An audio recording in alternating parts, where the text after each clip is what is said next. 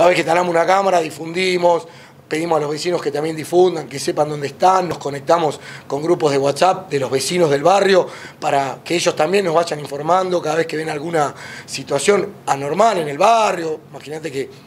todos vivimos en un barrio y conocemos a nuestros vecinos, sabemos sus horarios, eh, eh, su vehículo, y cada vez que vemos algo que nos pueda llamar la atención, está bueno que todos estemos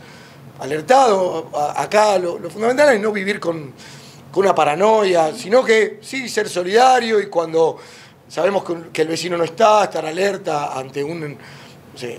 disparo de alarma o alguna situación anormal que vemos en el barrio. Está bueno, siempre decimos, ante una situación declarada, comunicarse a las líneas oficiales, que son el, 911 y la línea 103, ante una situación que tenga que ver con cualquier cuestión que tenga que ver con alguna emergencia.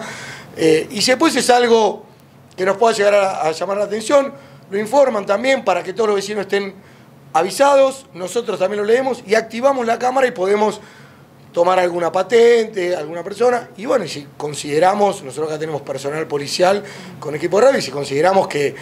eh, es algo, una normalidad, digamos, o algo muy llamativo, eh, mandamos el móvil simplemente para que se haga presente en el lugar, pueda identificar a vehículos, personas, o simplemente con pasar por el lugar ya también eh, logra una disuasión de, algún posible evento. Lo que nosotros queremos es no ver más eventos, queremos ver